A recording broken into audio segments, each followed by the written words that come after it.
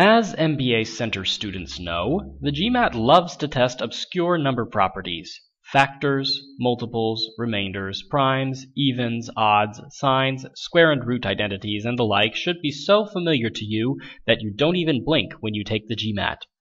However, equally important is a good grasp of the semantics and a thorough understanding of the assignment, especially on a data sufficiency question.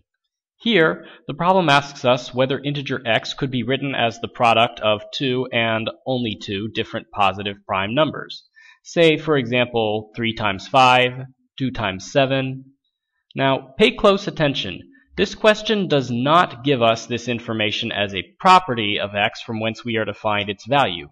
The question asks us whether, given that x has such and such a value, will that number that has this property have that property that's mentioned. Now, let's enumerate statement 1.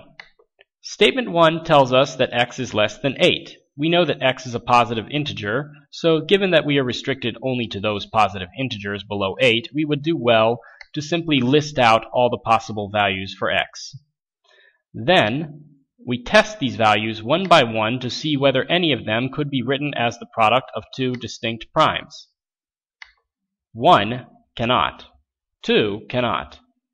3 cannot, 4 cannot, and 5 cannot. What about 6? 6 is 2 times 3, so yes. What about 7? No. So, we have several possible values of x that would answer the question in the negative. No, we cannot. However, we also have a possible value of x, 6, that answers the question in the affirmative. Not knowing whether the answer is yes or no, we are forced to conclude that statement 1 is not sufficient to answer the question. Now then, let's get back to the problem so that we can look at statement 2.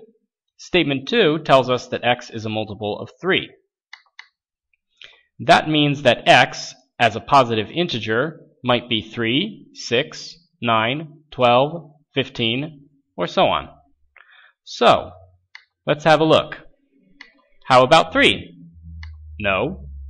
6? Well, it's 2 times 3, so yes. What about 9? No. 12? No. 15? Well, it's 3 times 5, so yes. We don't need to go further. Once again, we have possible values of x for which the answer would be yes, and possible values of x for which the answer would be no. So, statement 2 is not sufficient to answer the question. But what about statements 1 and 2 combined? Well, the only multiples of 3 below 8 are 3 and 6. If x is 3, then the answer to the question is no. If x is 6, then the answer to the question is yes. But we don't know which x is, 3 or 6.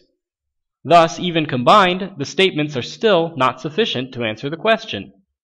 Now, many students pick C because in their minds they have a hard time not thinking, well, 6 is the only one that meets the criterion, so x must be 6. C it is.